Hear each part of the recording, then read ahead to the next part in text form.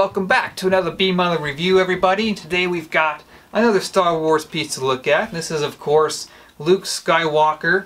Uh, this piece is made by XM Studios and I know thankfully for a lot of collectors this is not you know Luke from The Last Jedi even though I thought he was kind of a badass in that movie but we're not going to go there. This is Luke from the original trilogy and arguably the best movie of the entire saga The Empire Strikes Back. So I know Star Wars fans are some of you know the hardest to please out of you know all any genre of uh, collector, and so we're gonna get, jump right into this review and see does this statue live up to those kinds of expectations? Do you want to have this one in your collection? Let's get into the review. Jump right into the sculpt and design on this statue. So let's start with the base. Um, you know, we got the snow-covered base, which immediately places him on Hoth. I mean, that's immediately recognizable. You know this is from Empire Strikes Back. Um, he's standing atop his speeder, which has just been shot down by the Imperial Walker. And the base has some really nice detail here. You know, you look at the, the speeder itself, you know, the, the booster on the back, detailing of the paneling on the, on the speeder itself. And even under some of these removable parts, they've detailed inside these little compartments here. You know, you got this other one. When you look inside here, you know, they've detailed in there as well. So really nice, really nice base actually. I think uh, it helps to paint the scene nicely. So, you know, Luke himself, you know, let's look at the suit. Uh, you got some nice leather texturing on the boots and the belt, the pouches and everything. You know, the straps of his harness you can see on his legs. You know, you got the chest piece, all the buttons are there, the ribbed pattern down the sides of the arms and on the back. Uh, so really nice job detailing the suit. Um, but, you know, with any movie piece, uh, you really want the likeness of the actor to be there. And I think they've done a pretty good job here. I, I can look at this portrait and, and immediately know, you know, that's supposed to be Mark Hamill. It's got a pretty good likeness. I actually had a chance to see this, this portrait without the visor when I was in Singapore last year. And you know, when you see it without the visor, I think you can really see that the, the likeness is pretty good. So uh, the, you know, the helmet itself is also uh, really nice. Uh, they've got the cap, you know, that little white cap under the helmet detailed there. So nice attention to detail there.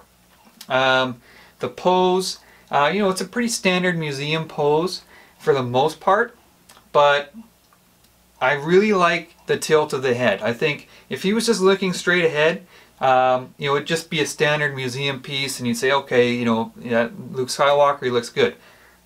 The tilt of the head, to me, just paints the whole scene. Now, I know this is not a direct frame rip from the movie. He's net, he didn't stand like this in the movie at all, but you know when, what scene this is. This is shortly after his speeder gets shot down and you can tell he's looking up and you know he's looking at an Imperial Walker. It's going to be right there. He's going to be right underneath it.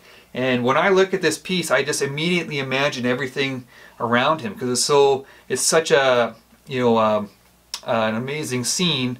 Uh, and so I, I, I, immediately see it. It, it, it, it. The tilt of the head, I just, I can't stress enough how much that just adds to the whole piece. So, um, you know, film accuracy is, you know, of course, very important for Star Wars pieces, and I think they, it's pretty good.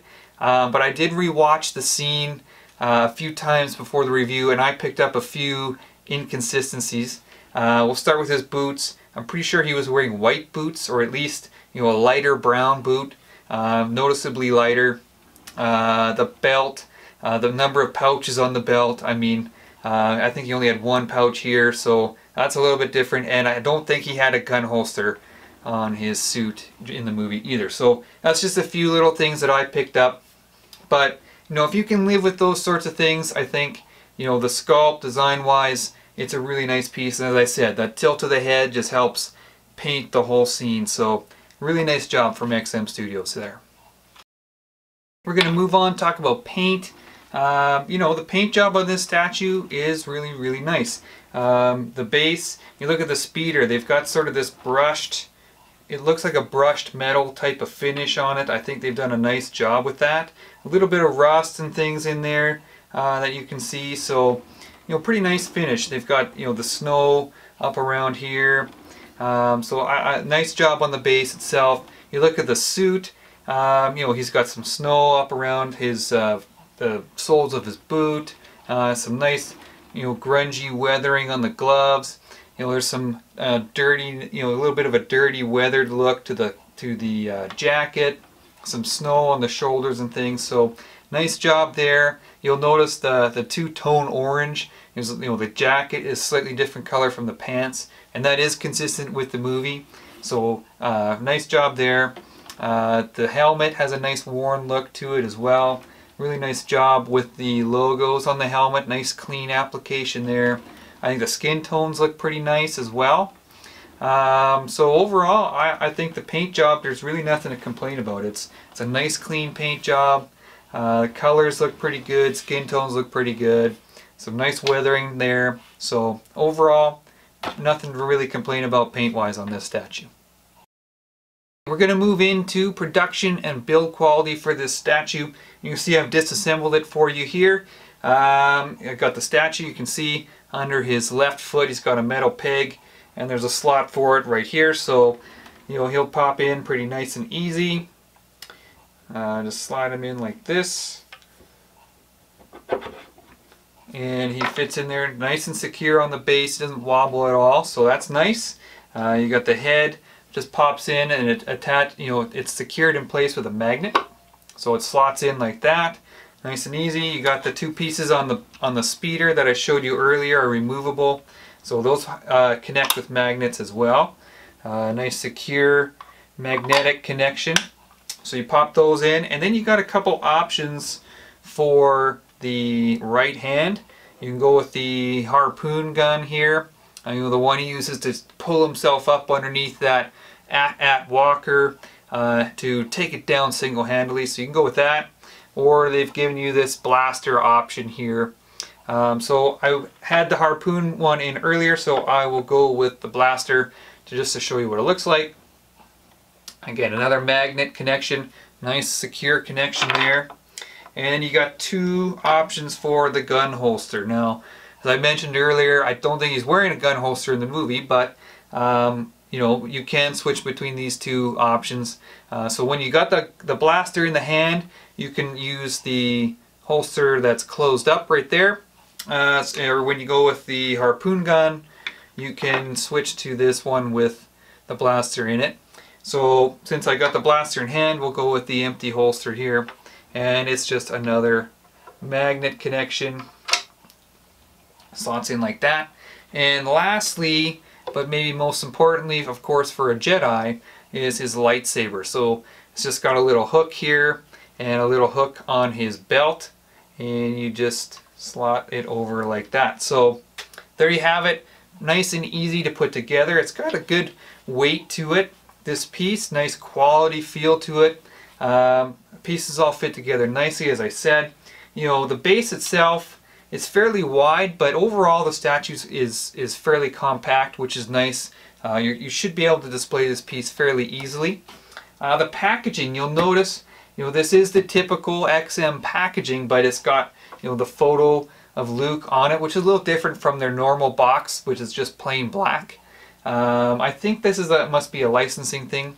Uh, most Star Wars statues and like even Hot Toys, you know, PFs from Sideshow have this style box. So um, it must be mandated, I think. Um, but packaging really good. Packed, everything's packed secure. So production-wise, quality-wise, this statue turned out really good. We're going to wrap up this review. Uh, Luke Skywalker from XM Studios, of course in his Rebel pilot suit, which I think makes this statue fairly unique. I can't think of any other Luke statues where he's wearing his flight suit. Uh, usually he's in his Jedi outfit. Um, so this might be the only one. I could be wrong on that, but you know I think that makes it pretty unique. Uh, in my opinion, this is probably the best Luke Skywalker statue on the market, uh, despite some film inaccuracies uh, I talked about, like the boots the, and the, the gun holster and things.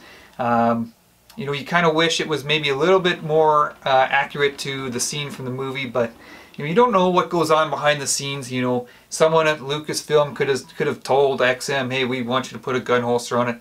We don't know. So anyways, like I said, if you can live with those little things, and and I didn't even know that they were there until I watched. I just watched the scene right before I'm filming this, so that's the only reason I know they're there. Um, otherwise, I think it looks really good. Design, I love the tilt of the head, how that just you know helps me imagine the whole scene around him. Um, so for me, this is more than just this statue. It's it's the whole scene from the movie, and I love that aspect of this piece. So good paint on it, nice likeness in the portrait. So overall, really nice quality piece. The production turned out well. As I said, I think it's the best Luke Skywalker one quarter scale piece on the market. So uh, hopefully you guys enjoyed this review. Uh, again, Luke Skywalker from XM Studios. Uh, we'll have more reviews coming up later in the year, of course, so stay tuned to our channel, and we'll talk to you guys soon.